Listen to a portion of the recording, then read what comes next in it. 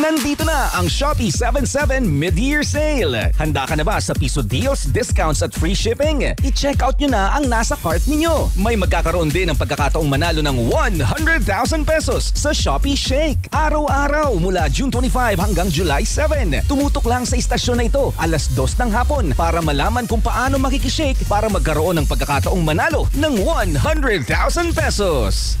See posters and print ads for details. Promo runs from June 25 to July 7 only. DTI Fair Trade Permit number FTEB 121897 series of 2021.